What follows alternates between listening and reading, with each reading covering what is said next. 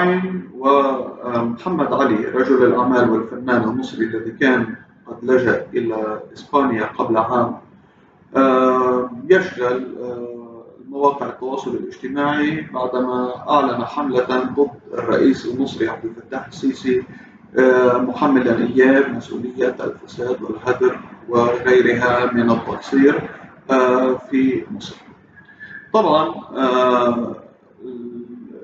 محمد علي لاقى نجاح كبير على مواقع التواصل الاجتماعي وقدر يستقطب جمهور كبير من الشباب المصري نتيجة تراجع الأوضاع الاقتصادية والأمنية في مصر في السنوات الثمانية الماضية. الجدير ذكره أن محمد علي ما يقوله ليس مختلفا كثيرا عن ما يتم تداوله على بعض المواقع أو العديد من المواقع التي تنتقد الرئيس عبد الفتاح السيسي.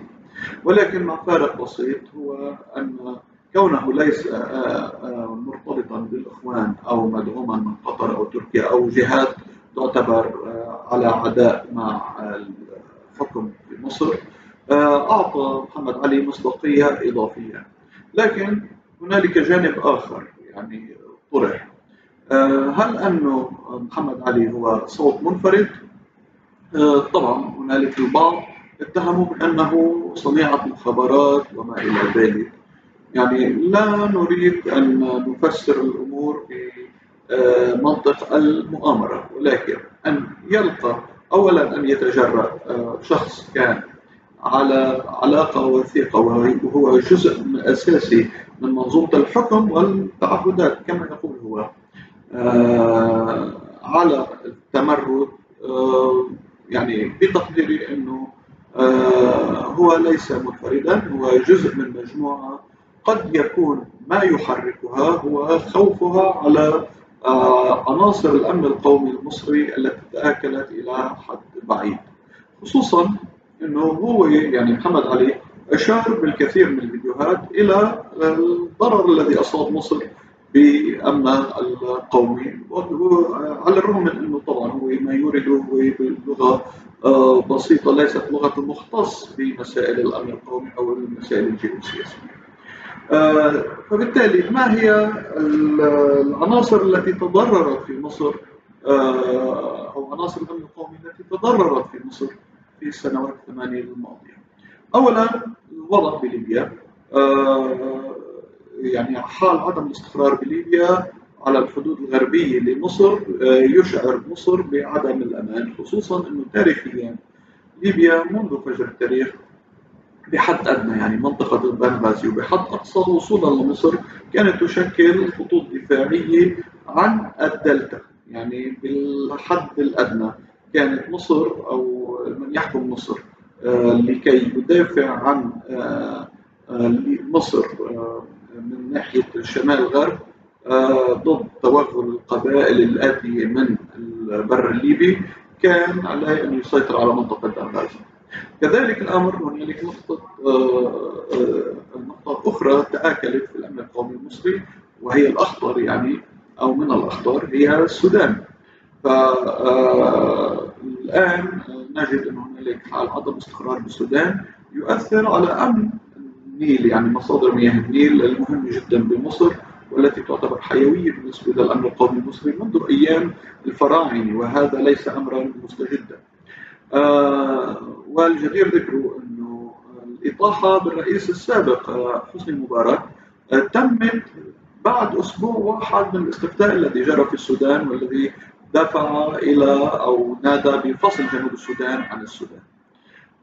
نقطة التآكل الأخرى في الأمن القومي المصري هي سد النهضة بأثيوبيا الذي يجري بدعم إسرائيلي وأمريكي وهو من أجل أن تكون أثيوبيا قادرة على ابتزاز مصر خصوصا لجهة منافسة المنافسة مع مصر على النفوذ في منطقة القرن الأفريقي. نقطة التآكل الرابعة هي المرتبطة بعدم الاستقرار باليمن ومنذ فجر التاريخ اليمن ارتبط بمصر بحكم أنه يتحكم بنقطة أساسية من نقاط العبور للتجارة من الهند إلى شرق المتوسط والتي كانت تحت إدارة مصرية.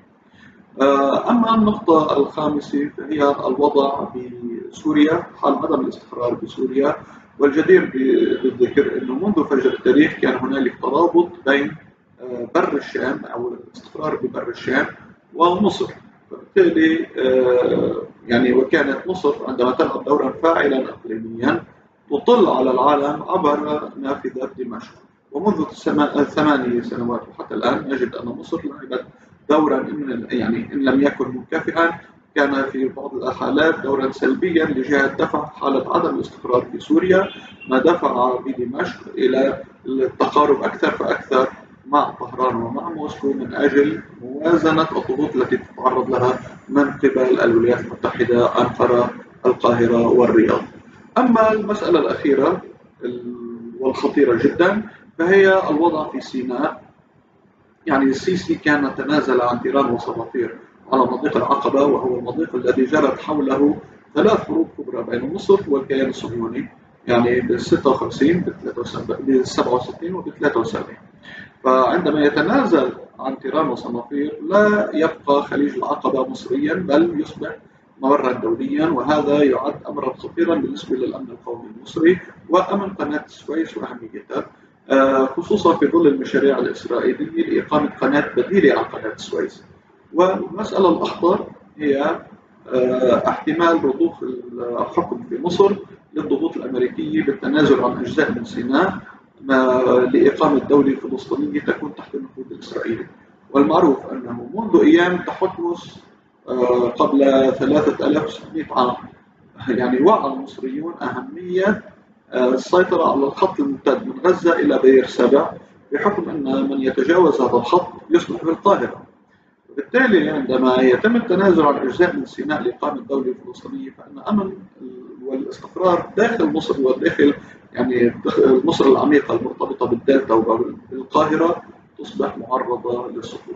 بتقديري أن هذه العناصر هي التي دفعت بنخب إن كان ممكن يكون داخل الجيش أو نخب بالإدارة آه، المصرية بما يسمى بالدولة العميقة أن تشعر بالخطر وتبدأ بالتحرك ضد الرئيس عبد الفتاح السيسي الذي تعتبره مسؤولا عن تآكل آه، في عناصر الأمن القومي. المصري وشكرا وعسى أن يكون هذا مفيدا.